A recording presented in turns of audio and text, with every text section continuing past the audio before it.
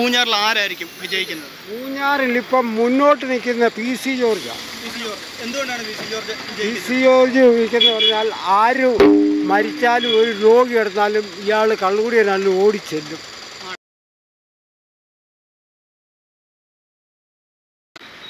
ചേട്ടാ ഈ പൂഞ്ഞാറിൽ ഇത്തവണ ആരായിരിക്കും വിജയിക്കുന്നത്? ഈ പ്രാവശ്യം കുളത്തങ്കം തന്നെ ജയിക്കും. കാരണം എന്നാന്ന് ചോദിച്ചാൽ പിണറായി സർക്കാരിന്റെ വികസനം. പൂഞ്ഞാറിൽ ആരായിരിക്കും വിജയിക്കുന്നത്? പൂഞ്ഞാറിൽ ഇപ്പം മുന്നോട്ട് നിൽക്കുന്ന പി സി ജോർജാണ് പി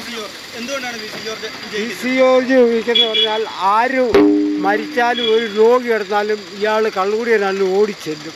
ആണ്. അതുകൊണ്ട് പി സി ജോർജിനാണ് ചാൻസ്. സ്ഥാനാർത്ഥിമാർ മത്സരിക്കുന്നുണ്ട്. നാല് സ്ഥാനാർത്ഥിമാർ മത്സരിക്കുന്നുണ്ട്.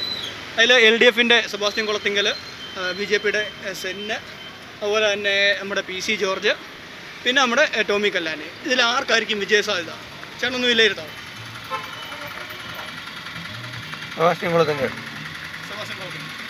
ഗോപിയാണ് കൈപ്പത്തി ജയിക്കും. ഉദ്ദേശിക്കുന്ന എല്ലാ രാഷ്ട്രീയങ്ങളും അറിയാം. ടോമി കല്ലാരിക്ക് തന്നെയാണ് മുൻതൂക്കം. മുൻതൂക്കം തന്നെ വർക്കും ചെയ്യുന്നു. ഓക്കെ. എന്തുകൊണ്ടാണ് ആ ഒരു മുൻതൂക്കം? മുൻതൂക്കം ഗവൺമെന്റ് മാറി മാറി വരുമല്ലോ. വരും. എന്നാലും നമ്മൾ എത്ര ആവഹിച്ചെടുത്താലും മനുഷ്യ മനസാക്ഷിയുടെ വോട്ടാണ്. ഹൃദയത്തിലിരിക്കുന്നത്. അത് ആര് ചെയ്യുമെന്നുള്ളത് നമുക്ക് കാണാം. രഹസ്യ വോട്ടല്ലേ? അതുകൊണ്ടാണ് അങ്ങനെ പറഞ്ഞത്. യെസ് ഇത്തവണ പൂഞ്ഞാറിൽ ആരായിരിക്കും പൂഞ്ഞാറിൽ പൊട്ടിപ്പോകുന്ന പി സി ജോർജ്.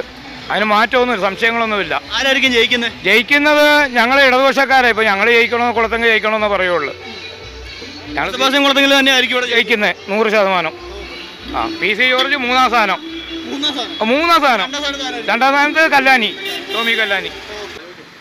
ചേട്ടാ ഇത്തവണ ആരായിരിക്കും പൂഞ്ഞാറിൽ വിജയിക്കുന്നത്? പൂഞ്ഞാറിലെ ഇടതുപക്ഷ സ്ഥാനാർത്ഥിയായിട്ട് നിൽക്കുന്ന സെബാസ്റ്റ്യൻ കുളത്തങ്ങൾ വിജയിക്കും. എന്തുകൊണ്ടാണ് ഈ സെബാസ്റ്റ്യൻ ഈ പത്ത് വർഷക്കാലം ഈ പൂഞ്ഞാർ മണ്ഡലത്തിൽ വികസന സംഭവം ഉണ്ടായിട്ടില്ല. ഒരു ഗവൺമെന്റ് ആശുപത്രി ഉണ്ടായിട്ടില്ല. എല്ലാ സർക്കാർ എല്ലാ മേഖലകളിലും ഗവൺമെന്റ് ആശുപത്രികളും മുനിസിപ്പലിറ്റേഷൻ ഫ്ലൈ ഓവർ ഇതെല്ലാം വാക്കുകൾ കൊണ്ട് മാത്രമാണ് പൂഞ്ഞാറിന്റെ M L A P C or നടത്തിക്കൊണ്ടിരിക്കുന്നത്.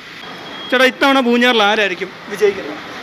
ഈ പ്രാവശ്യം പൂഞ്ഞാറിൽ ആര് ജയിക്കുമെന്ന് നമുക്ക് കറക്റ്റായിട്ട് പറയാൻ പറ്റത്തില്ല.